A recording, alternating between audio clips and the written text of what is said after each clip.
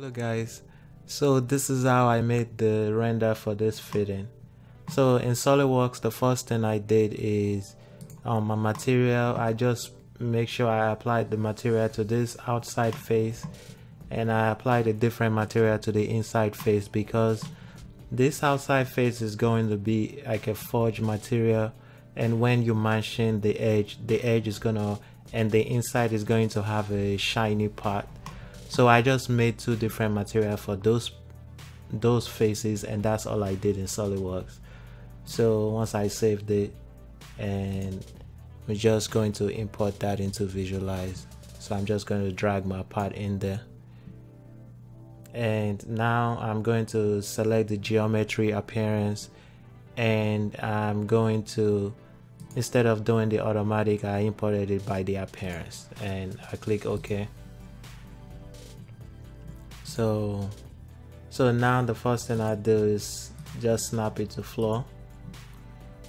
And um, under the preview options and I always enable the floor shadow and reflection. And from this point on it's just finding a good camera view you like. So I have one camera view that I made so I'm just going to load that. So I'm going to go down load my camera. I think it's this one. And so that's my camera view. For my appearance as you can see I only have two appearance. Um, one for the machine steel and the other one for the carbon steel and SolidWorks Visualize has like a forged material that I found so I just used that. So I'm going to go into my library and and under my appearance and under the metal I, I, there is a forged material metal that was in in SolidWorks visualize so I used that but I edited it a little bit. But I'll show you the settings so I'm just going to add the forge the forge metal to that body and the machine to the inside. So as you can see the forge is on the outside and that edge has kind of like the finish the surface finish. So and I'll just right click delete the one the appearance that I was that I'm not using. And this is just pretty much my setting for this. I changed the roughness to 75 and um, just use a, no, a forged normal bump map.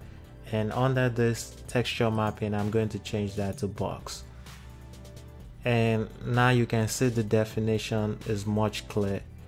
And for the machine it's the same thing. I I um this one doesn't have any texture mapping because it's just I just made it because I want it as smooth just to give it that shiny part. And I'm also gonna change that texture mapping to box. And from here on now all I just need to do is change the scene. So I like the I'm going to go into my library under the environment I like this white panel scene. It seems to work better for most of the project I work on. So that is what the scene looks like now. So yeah you can just rotate the the camera to get the color you want. So I think I like um, this something like that. And the next thing I did is just hide the background and I can load a a new backplate. And that was pretty much how I rendered this um, fitting.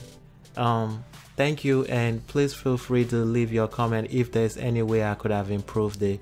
Uh, please feel free to let me know. Thank you and have a nice day. I would show you the render once it's completed. Thank you. Bye